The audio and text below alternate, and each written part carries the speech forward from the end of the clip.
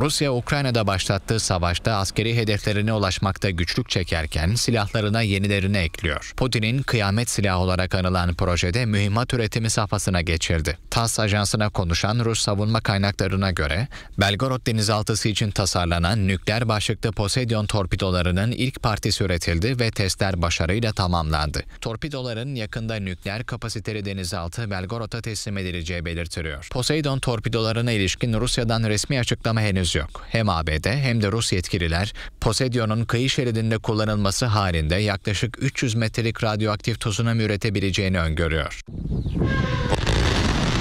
Yeni tip nükleer silah Poseidon 1,28 metre çapında ve 24 metre uzunluğunda. Yaklaşık 10 kiloton gücünde nükleer yük taşıyor. Saatte 100 kilometreden fazla mesafe kat ederek 10 bin kilometre menzile ulaşabiliyor.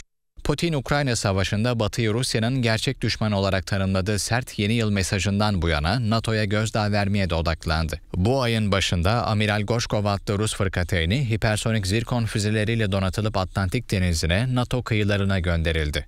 Rusya'nın Ulusal Güvenlik Konseyi Başkan Yardımcısı Dmitri Medvedev, zirkon füzelerini NATO için yeni yıl hediyesi olarak tanımlamış, bizi tehdit eden herkesin aklını başına getirecekler demişti.